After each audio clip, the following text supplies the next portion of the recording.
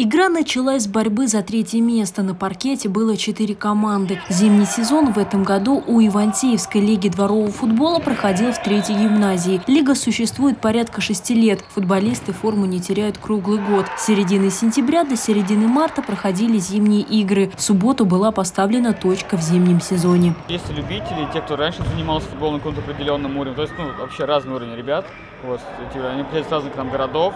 И, в принципе, команды есть сильные, есть послабее, есть там. Ну, то есть у нас интересно все проходит, потому что даже вот в этом году у нас э, команда СССР все, весь чемпионат шел на первом месте. И только в последнем туре исход так предрешил, что Фубы стали чемпионами, а СССР занял второе место.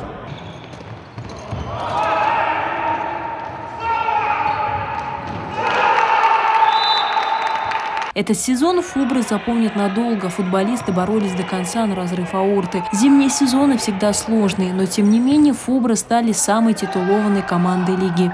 А, не хочется, конечно, хвалиться, но ожидали. Честное слово, ожидали. А, очень рады, без исключения все, что сезон сложился именно так. А, все вышло шикарно. Вот, вот он итог. Я бы больше хотел бы сказать спасибо своей команде. Это ребята, которые а, боролись, отдавались а, каждому матчу. А, я благодарю этих ребят, то, что итог вот он. И я думаю, это не напрасно.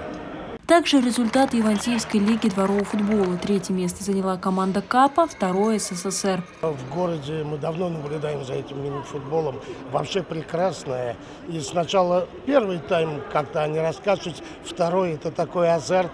Или разогреваются ребята и показывают уже и финты. Такой класс, просто воодушевление обалденное. Это надо участвовать и наблюдать, тогда вы ощутите все это. В этом году разыграли кубок, посвященный Великой Победе. Он проходил уже третий год подряд. В результате его получила команда Фубры. Второе место ЛФК «Ивин», бронза у КЭП. Анастасия Спирина, Юрий Добрунов. Новости Большого округа.